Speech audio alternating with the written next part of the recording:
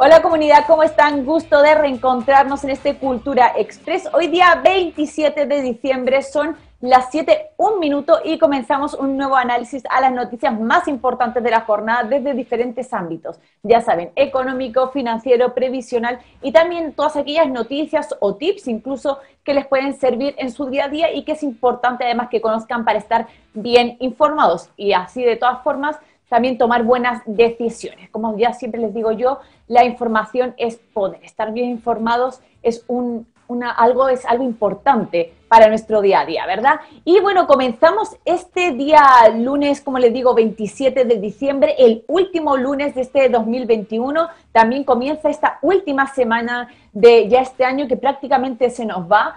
Ahí también les invito a que todos me vayan comentando cuál es el balance que hacen de este 2021, cómo se preparan o cómo esperan esta última semana del 2021 en los diferentes chats, porque ya saben que está el equipo detrás de las cámaras eh, seleccionando ahí los diferentes mensajes para que después los podamos leer todos en directo. Ya saben que yo siempre les digo que yo doy la información, pero aquí es súper importante y es fundamental la opinión que tengan ustedes o también los comentarios que nos puedan hacer con respecto a diferentes temas, ya sea de la pauta o diferentes cosas que nos quieran comentar. Aquí siempre son bien recibidos, mientras que, como siempre les digo, mientras que se haga con respeto y todas las eh, opiniones son válidas. Eh, nos respetemos entre unos y otros en los diferentes chats, siempre las vamos a estar también leyendo aquí en este Cultura Express. Como les digo, última semana del 2021, último lunes, pero no por ello vamos a empezar con menos energía, de hecho incluso más todavía porque hay que enfrentar con toda la energía del mundo este año que ya se nos va. Como siempre voy a lanzarles la pregunta del día porque quiero conocer su opinión con respecto a uno de los temas que ha sido sobre todo eh, importante en este fin de semana. Ya sabemos que muchos estuvimos ahí celebrando Navidad, reunidos con nuestras familias. También espero que hayan disfrutado de este fin de semana eh, de diferentes maneras. Cada uno lo celebra como, como quiere o como puede, pero por lo menos que hayan disfrutado de estos días, aunque sea de descanso. Y la pregunta del día es la siguiente. ¿Crees que se debe tramitar y aprobar el retiro del 100%? A, sí. B, no. Y la pregunta, ya saben, va a salir por los dos canales de YouTube, también por Facebook y también por Twitter para que ustedes vayan contestando desde ahí. Y además, me gustaría que complementaran eh, su opinión y su opción en los diferentes chats. ¿Por qué creen que se debe tramitar y se debe aprobar en un hipotético caso que esto ocurra este retiro del 100%. ¿Por qué? ¿Lo ven porque a lo mejor eh, un eventual, eh, como dicen también, eh, expropiación de los fondos que podría haber? ¿O también creen que simplemente es por un mero derecho de propiedad que tenemos los chilenos sobre nuestros fondos? ¿O porque simplemente lo necesitan y no va más allá la respuesta? Bueno, todas esas, como yo siempre digo, todas esas opiniones y respuestas son bien recibidas y las estaremos leyendo en los chats de los diferentes de las diferentes redes sociales. Como siempre les digo, tienen una amplia variedad para que ustedes se vayan conectando desde ahí. Y voy a comenzar la pauta del día de hoy, pero eh, me tengo que referir a un tema muy brevemente para que todos tomemos conciencia y también valoremos el gran trabajo que están haciendo un grupo de personas, y es con respecto a los incendios forestales que están azotando nuestro país. Ya saben, ahora actualmente, a día de hoy, hay más de 170 eh, incendios forestales activos, de ellos, de hecho, 30 de ellos están bastante fuertes, bastante importante el combate que están llevando a cabo los diferentes bomberos y brigadistas y también la CONAF en esas zonas. Eh, eh, llamar solamente a apoyarlos a ellos que están haciendo una gran labor y aparte una labor bastante exhausta, es súper agotadora y sobre todo llamar a que tengamos un poco de conciencia también. Acaba de comenzar el verano, como digo, ya más de 170 incendios forestales activos y tenemos que hacer un llamado a cuidar nuestro país, que sabemos que el territorio nacional es hermoso y entre todos tenemos que cuidarlo. Sabemos que hay gente que eh, tenemos que decir que es verdad que han provocado estos incendios de manera voluntaria y totalmente consciente, eh, la justicia, ojalá que recaiga sobre ellos, pero en la medida de lo posible, cuando nosotros también salgamos de vacaciones o acudamos a estos sitios, siempre tener cuidado, no, eh, no fumar, no echar colillas eh, por ahí en el, en el piso y también siempre con la basura. Por favor, cuidemos entre todos nuestro territorio nacional que es tan importante. Y también, como siempre les digo, mandar todo el apoyo a aquellos bomberos, brigadistas que están en los diferentes zonas del país, tanto desde la región de Valparaíso hasta la región de los lagos, donde hay bastantes incendios activos. Recordar que está bastante activo el, incendio de la región del Ñuble, allí en Quillón, en el que ya se han quemado más de 1.600 hectáreas. También la región de la Araucanía, el incendio más grande, de hecho, que está en la zona de los eh, sauces y también de Angol, que ha hecho que también se tenga que evacuar bastantes personas y que además ya se han quemado más de 12.000 hectáreas de nuestro territorio, de nuestro bosque, también de eucaliptos y también de pinos. Así que, querida comunidad, entre todos a tener cuidado, precaución dentro de lo que podemos hacer cada uno, por favor siempre a preservar nuestro entorno natural que es tan importante. Así que dicho esto, y mandar además todo el ánimo, como siempre digo, a CONAF, a los brigadistas, a los bomberos que se están dejando la vida allí también eh, para intentar apagar estos incendios. Y como siempre digo, bueno, tengo que empezar ya con otros temas de la pauta.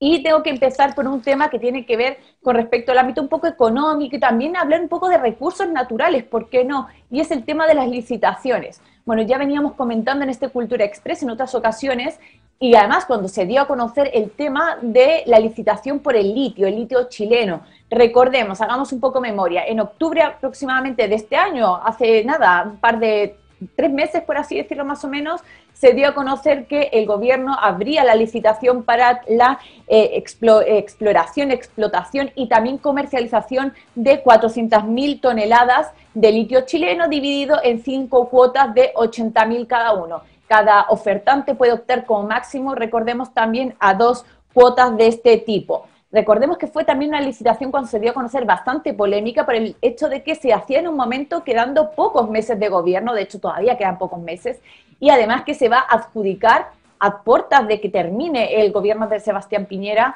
porque se va a conocer esta licitación, el resultado ahora en enero, a mediados de enero aproximadamente, quedando en ese entonces va a quedar un poco más de un mes para que termine este segundo mandato de Sebastián Piñera. Por lo tanto, eso fue bastante polémico, creó bastante repercusión, sobre todo en diputados de oposición, que levantaron bastantes interrogantes al respecto por el momento en el que se estaba haciendo y por qué no dejarlo ya para el próximo gobierno que quedaba poquito para que comenzara también. Bueno, pero se ha sumado una polémica más con respecto a esto, y es que una de las eh, mineras que intenta optar a esta licitación, que es la llamada minera Salares del Norte, una minera chilena, ingresó el día 10 de diciembre una consulta al Tribunal de Defensa de la Libre Competencia. ¿Por qué? Porque plantea que, y, pide además a este Tribunal de Defensa de la Libre Competencia que analice las bases de esta licitación porque dicen que eh, favorece de manera arbitraria a las firmas internacionales por encima de las firmas eh, nacionales. Por lo tanto, se estaría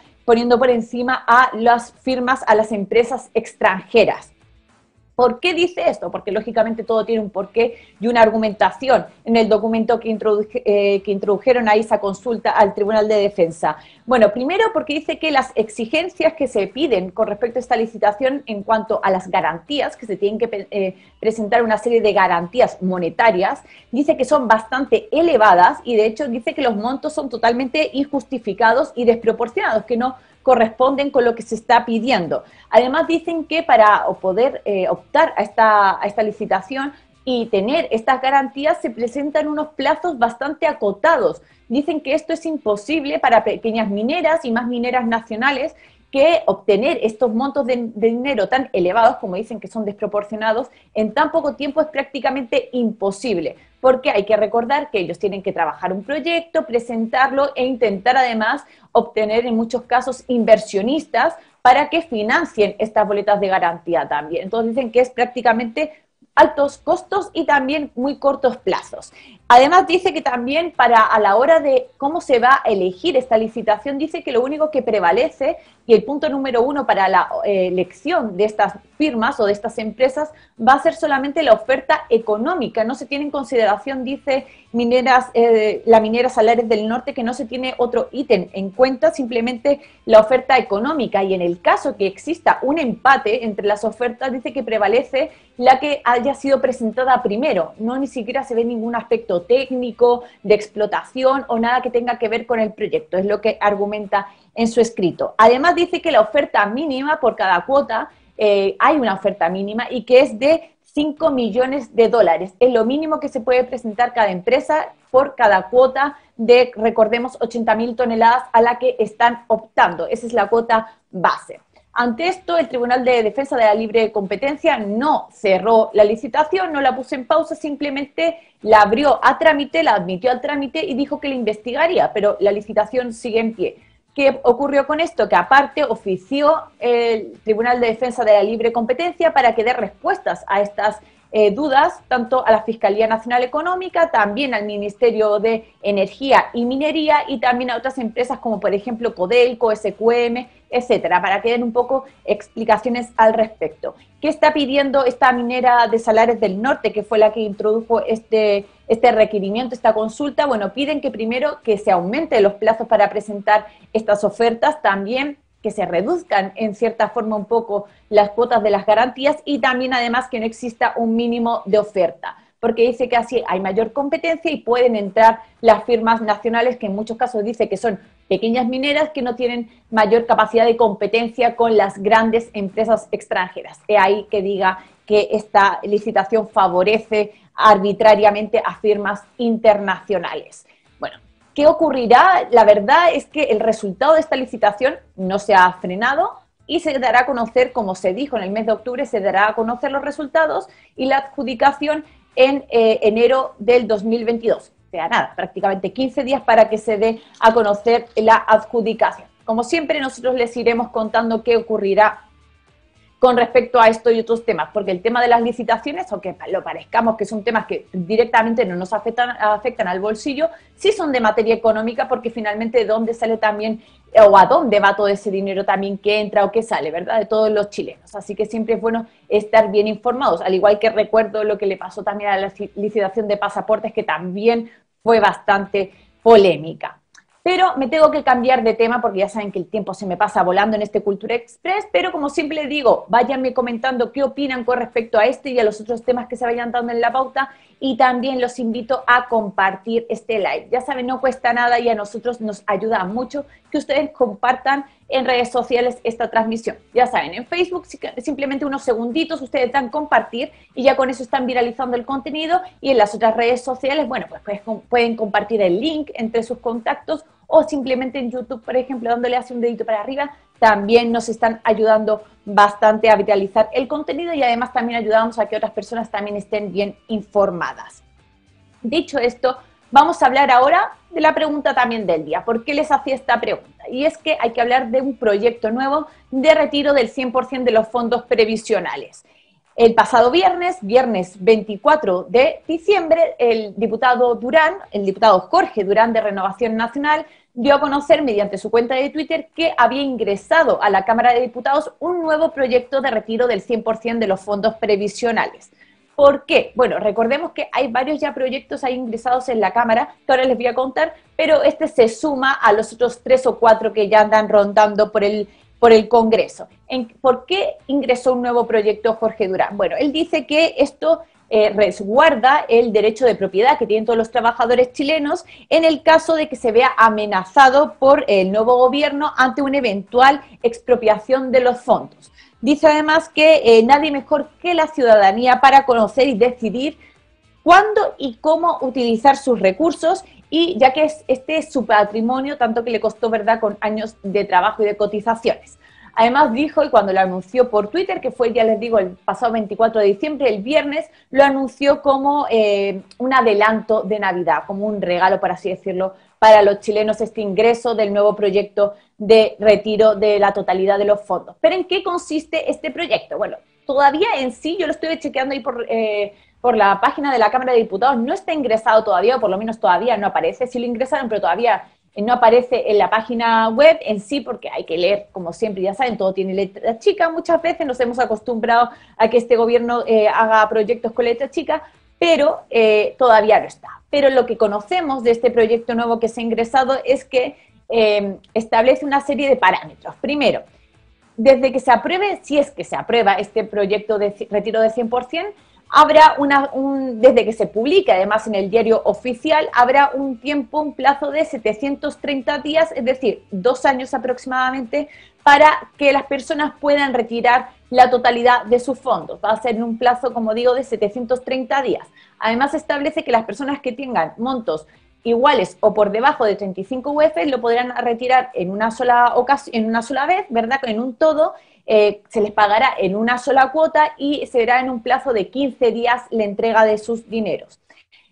Para las personas que tengan más de 35 UFs, establece que se hará en dos cuotas el pago. Una eh, sería el 50% a los 15 días y el otro 50% a los 45 días. Además, también este proyecto establece que los, eh, los fondos, digo, no pueden ser objeto ni de expropiación, ni de nacionalización, ni tampoco confiscación ni apropiación por parte de nadie. Eso es lo que establece este proyecto que se ingresó, digo, por el diputado Jorge Durán de Renovación Nacional. Pero a esto, ya les digo, cuando yo sepa un poco más de, qué consiste este proyecto, lo estaremos comentando ahí a través de eh, este eh, Cultura Express. Pero por lo menos ahora es lo que sabemos. A esto se va a unir a otros proyectos de retiro del 100% de los fondos. Recordemos, está el de Pamela Giles, que ingresó el día después de que se rechazara el cuarto retiro de los eh, fondos hace aproximadamente más de dos semanas, si ya no pierdo la cuenta. Y este proyecto, por lo que estuve ahí también chequeando, no, eh, no tiene letra chica como tuvo, tenía otro que ingresó Pamela Giles. Recordemos que por ahí por mayo ingresó otro de retiro de 100% que conllevaba eh, un retiro máximo de 100%, pero con un máximo de 1.350 UFs. En este caso, el proyecto que ingresó hace un par de semanas conlleva un retiro de la totalidad sin ningún tipo de monto máximo. También recordemos que hay otro por ahí, otro proyecto que estuvo rondando, que es el del diputado eh, Alessandri de la UDI, que eh, también conllevaba un retiro del 100%. Estuvo sonando bastante tiempo este tema, pero no era un retiro del 100% como tal efectivo, sino era un retiro más bien un traslado de entidades que administraran estos fondos de cara a la jubilación. Lo que planteaba este proyecto era que se podía retirar la totalidad, pero para trasladarlo a otra, eh, otra entidad financiera que estuviera siempre fiscalizada por la CMF, que tuviera como objetivo la, eh, la pensión de los chilenos, recordemos.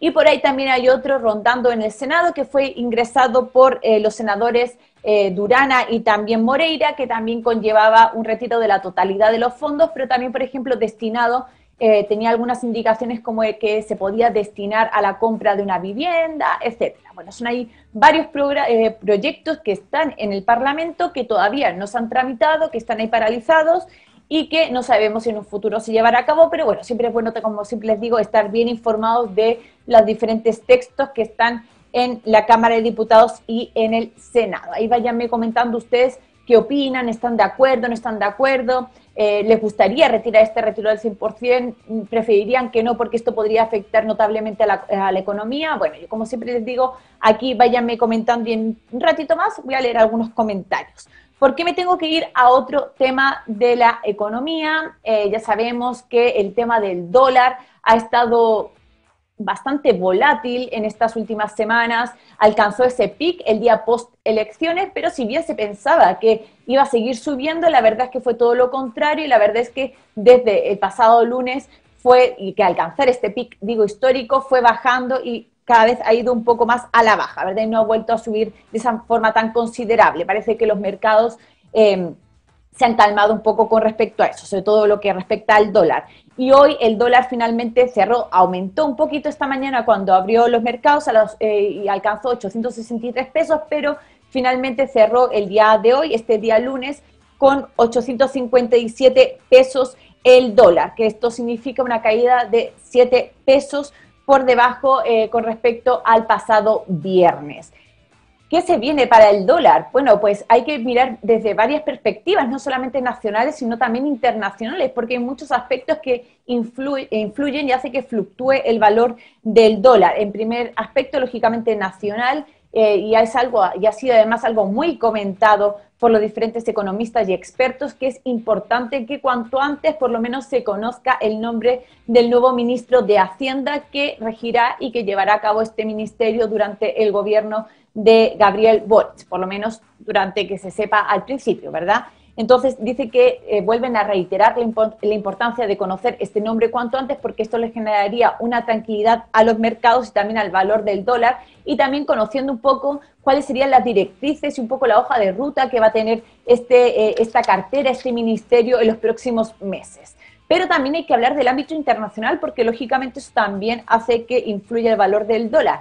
Por ejemplo, ¿qué están esperando los expertos, los economistas con respecto al dólar? Bueno, sobre todo que dé una respuesta, unas declaraciones la Reserva Federal sobre la recuperación económica y también la inflación en Estados Unidos. Recordemos que en Estados Unidos también la inflación está bastante alta, alcanza casi el 7% eh, en 12 meses, parecido con el nivel que se está alcanzando en Chile, y esto debido a diferentes cosas, diferentes factores, como tiene que ver, por ejemplo, el aumento de restricciones, posiblemente eh, que se potencie el tema de la variante Omicron, y bueno, diferentes factores que ha hecho también generar esta inestabilidad tanto en el marco nacional como internacional.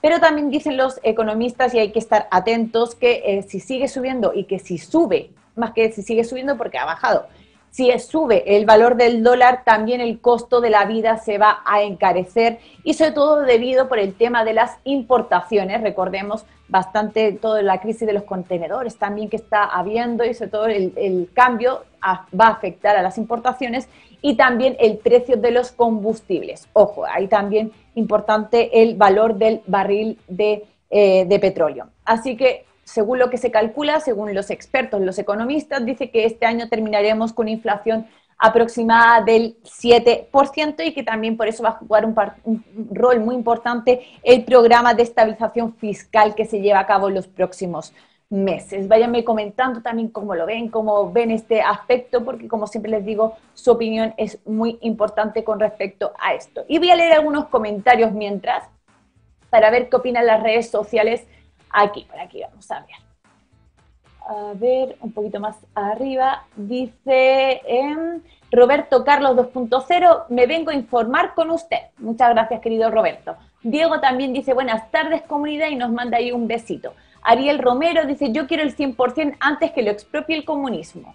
Eh, la mejor música de los 80, dice Cristian Colinet, es el nombre de, de YouTube, dice, es mi dinero y lo necesito ahora. Mañana no sé si estaré vivo, también nos comenta por aquí. A ver, por aquí dice Yomarex 2.0, buenas tardes, última fila. Y nos manda ahí unos deditos para arriba, mi querido Yomarex. Pato Araya dice, hola Yasmina, ¿y cómo nos han quitado el derecho a la propiedad? Por lo tanto, creo que se debe hacer ese retiro y además deben eh, dejarnos seguir sugerencias, ya que renta mejor en las AFP, dice, cuéntanos. Pablo Ordoiza, buenas tardes comunidad, también dice saludos desde la puerta norte de Chile, Arica. Cristian Colinet. Eh, José LRZ85 dice, buenas tardes comunidad, último lunes del año. Saludos para toda la última fila, besos para ellas. Ahí mi querido José, un beso gigante. Marilén Retamal dice, no, no estoy de acuerdo porque algo debe quedar para la vejez. Como siempre les digo, es importante tener una variedad de opiniones y todas las opiniones son bien recibidas. Mariela, Mariela Elena Núñez dice, sí se debe retirar pero dejarlo en una cuenta voluntaria, pero se debe hacer en cuotas para evitar la baja de ellos, también nos comenta. Eh, Diego dice, sí estoy a favor del 100% y no, eh, y no por temor a la expropiación, la cual encuentro que está sobreexagerada. Hay que recordar que por muchos años fue la izquierda quien manejó la economía, también nos comenta. Piscis 523 eh, dice, felices y forrados live, terminando el año junto a ustedes. Y como siempre, gracias a Piscis y a toda la comunidad que nos acompaña cada tarde. También Clara Fernández dice, buenas tardes, también por aquí Enrique Guzmán, enfrentar con todo el FUA el nuevo año 2022. Patricia Faunde dice, buenas tardes, Jazz y comunidad, saludos desde Arica. También Adriana Mondaca dice, hola Jazz, equipo y F, y F, saludos comunidad. Patricio Quintana, el balance más nefasto que eliminaron a Gino por ley mordaza. Lo hizo la derecha e izquierda. También Cecia Hernández dice, derecho a la propiedad. Norberto Hernández dice, necesitamos nuestra plata ya que ellos se han hecho eh, más ricos gracias a nuestro dinero y para nosotros, eh, dice, puras pérdidas. Magali Pérez también dice, solo por temor prefiero yo invertir y guardar. Nancy Otterman dice, sí queremos el 100% y no más AFPs, también me comenta por aquí. Pablo Osandón, la licitación de litio es otro robo legalizado. También Yomares 2.0 dice, Boric va a nacionalizar el litio. También María Elena Núñez dice, las licitaciones deberían ser equitativas para empresas chilenas y extranjeras, además de evaluar si las empresas son expertas en esto. Bueno, era una de las críticas que hacía eh, esta, esta minera, que hacía esta solicitud al Tribunal de Defensa de la Libre Competencia, que decía que se priorizaba y que había como más eh, intenciones o se le ponía más fácil por lo menos a las empresas extranjeras por los montos y también por los plazos.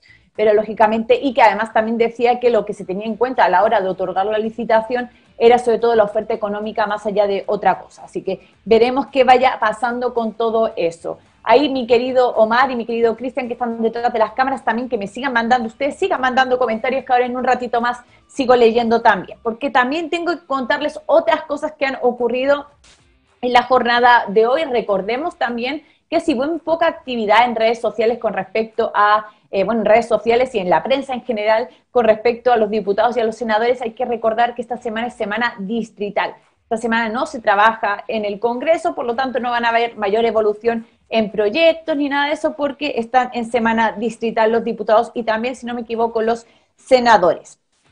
Pero tengo que hablar ahora de un proyecto que ya está, eh, ya ha sido formalizado y aparte ya está publicado oficialmente como ley en el diario oficial y por lo tanto ya entra en vigencia, que es la llamada ley pro consumidor o también la llamada ley de protección del consumidor. ¿Cuántas veces no hemos comentado en este Cultura Express también el tema de los descuentos asociados a tarjetas de crédito? Pero bueno, esto es un ítem más dentro de esta ley que la verdad es que se acaba de publicar, se publicó el pasado viernes en el diario oficial, por lo tanto entra en vigencia y lo que lleva conlleva sobre todo es a reforzar ciertos derechos del consumidor que en la, que había sobre todo algunas lagunas que eh, eh, no se priorizaba el consumidor por encima de las empresas, por ejemplo. ¿Qué conlleva este, este, esta ley que se acaba de publicar y que por lo tanto digo que ya entra en vigencia? y es importante que estemos atentos, sobre todo, miren, con el tema de las compras y ahora que ha habido también tantas compras con Navidad, bueno, el tema de las garantías también es importante, ¿eh? Porque eh, esta ley lo que conlleva, uno de los ítems, es que aumenta la garantía legal de tres meses como era a seis meses, ¿vale? Entonces, esto, eh, por lo tanto, ahora la garantía que tienen que dar las diferentes empresas, los diferentes comercios, es de manera oficial seis meses, ¿vale? Eso sí, este ítem va a entrar en vigencia dentro de tres meses. Ya recordemos que siempre, cuando muchas veces se aprueba una ley, tarda en entrar en vigencia por el tema de la adaptación de los diferentes eh, comercios o, bueno, de los diferentes protagonistas, ¿verdad? Bueno, esto ya está publicado, entra en vigencia, pero entrará en vigencia oficialmente en tres meses el tema de las garantías. Pero pasado tres meses, como les digo, la garantía oficial de la empresa tendrá que ser seis meses, de pasando de tres, que, había, que era antes. También eh, mejora la regulación con respecto al retracto en las compras eh, por medios electrónicos, también favorece mejoras en lo que es la tramitación de las compras online. también incluye este tema de los descuentos asociados a las tarjetas, que fue polémico en su momento, que finalmente se permite, no se prohíbe, se pueden hacer descuentos asociados a tarjetas de crédito siempre y cuando, ojo, no te obliguen a que sea un pago obligado en cuotas. Ojo ahí, querida comunidad, es importante eso. Se puede hacer descuentos asociados a tarjeta de un retail, por ejemplo, asociados a una empresa determinada, pero no te pueden obligar a que esa compra, para que sea con descuento, sea en una cantidad de cuotas eh, exactas. Tiene que ser en una cuota. Ya cada uno, si después lo quiere pagar en más cuotas, puede hacerlo lógicamente, pero el descuento tiene que ser desde la cuota 1, no, eh, no arraigado a un número de cuotas o diferir el pago en diferentes cuotas. También mejora la publicidad con respecto a este tema de los descuentos. Siempre el producto tiene que tener muy bien y muy claro cuánto costaría al contado y también cuánto costaría su compra con tarjeta, para que también nos quede claro que esas publicidades del número gigante si se hace con cierta, cierto, cierta compra, cierto método de pago y después abajo muy chiquitito, ¿cómo quedaría sin cuotas? Eso no se puede hacer tampoco. Así que también para que estén ustedes mismos fiscalizando lo que se puede hacer o no. También eh, el tema de las, van a ser bastante eh, estrictos con el tema de las garantías obligadas y después con el tema de las garantías eh, voluntarias. La empresa tiene que dar obligatoriamente su garantía su garantía obligatoria y después entraría en vigor la compra, si uno quiere, de estas garantías voluntarias. Pero lo que no pueden hacer es vender obligatoriamente la voluntaria y que entre en rigor a los pocos meses. Como les recuerdo, son seis meses de garantía legal. Y además una cosa importante que no ha salido en los medios de comunicación, pero que leyendo un poco la ley, lo que se, se publicó en el diario oficial, también creo que es bastante interesante, es con respecto a los pasajes aéreos. ¿Cuántas veces a lo mejor alguien de ustedes que nos está viendo ha viajado y le han cancelado el vuelo o le han pedido a lo mejor que lo cambie porque hay un sobrecupo, porque han venido más pasajes de, las, de los cupos que hay dentro del avión y que piden a lo mejor y lo puedes cambiar, te damos esto a cambio. Bueno, todo esto también está regulado, ojo. Si se dan esta, este, este concepto de sobreventa de pasajes aéreos, la aerolínea está obligada a escribir y dejarlo todo por escrito antes de ofrecer nada y también antes de que la persona opte a esta medida compensatoria. Tiene que quedar todo muy bien reflejado de manera escrita, cosa que antes no era. Y además también el consumidor si decide no eh, si decide además optar por una compensación, es decir, que a lo mejor no, no irse en otro vuelo, etcétera, tienen 10 días exactos eh, si se opta por la devolución y ya tienen que ser las devoluciones tanto en efectivo o en transferencia. Además, también si se dan estos retrasos o sobreventas de pasajes, ¿vale? Las compensaciones por vuelo eh, denegando el pasaje están muy bien estipuladas en esta ley, que estipula exactamente, dependiendo de los kilómetros, también del el retraso de horas, todo eso queda estipulado ahí en la ley. Eh, con respecto a las UEFs que tiene que compensar la empresa. Así que dense un paseo por ahí también en el diario oficial porque ahí está toda la información. Yo se lo cuento así por, por encima, pero también para que ustedes, si viajan, por ejemplo, o se han hecho compras y a lo mejor se les rompe lo que hayan comprado, que sepan que esto va a entrar las garantías de seis meses, también lo que conlleva todo de pasajes aéreos. Así que interesante para estar bien informados, querida comunidad.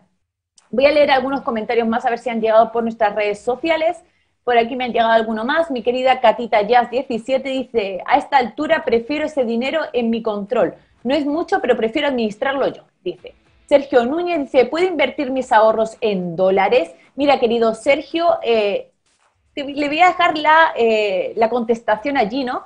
¿Por qué? Porque hay un video que nosotros tenemos en nuestras redes sociales que lo puedes encontrar tanto en YouTube como también en Facebook en el que hace una recomendación con respecto a la compra de dólares y también la forma de invertir. Así que, querido Sergio, ahí te dejo invitado a que veas nuestras redes sociales. También dice Nicolás Caviedes, Gino podría hacer un curso, yo estoy dispuesto a pagarlo. Bueno, y le vamos a plantear a ver si, eh, si le tinca esta idea. Dice Diego también, mientras más dólar compra, más afectará la inflación. También Pato Araya, prefiero el retiro del 100% y así compro dólares o ahorro en UEFs. Catayas 17 dice una leve baja hasta que salga Argentina del confinamiento y lleguen a Chile a comprar divisas y se, dispare de nuevo, nos dice nuestra querida Cata. Eh, y también dice por aquí Ariel del Tránsito Cárdenas, dice yo no estoy de acuerdo por el retiro del 100%, porque lo van, a eh, lo van a recortar a la mitad de los ahorros que tenemos muchos. No ven eso.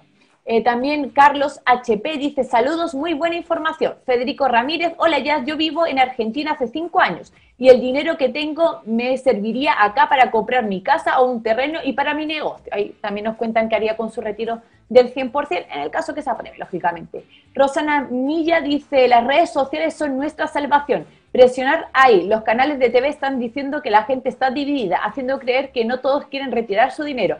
Una mentira más, también nos cuenta ahí esta miembro Rosana de la comunidad y nos cuenta también su punto de vista.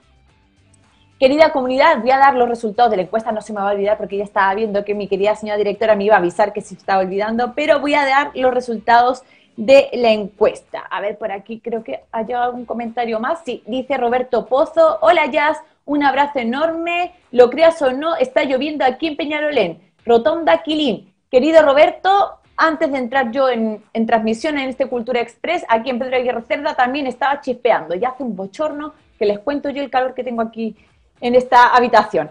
Bueno, pero dicho esto, tengo que darles los resultados de la encuesta del día de hoy. La pregunta era, ¿crees que se debe tramitar y aprobar el retiro del 100%?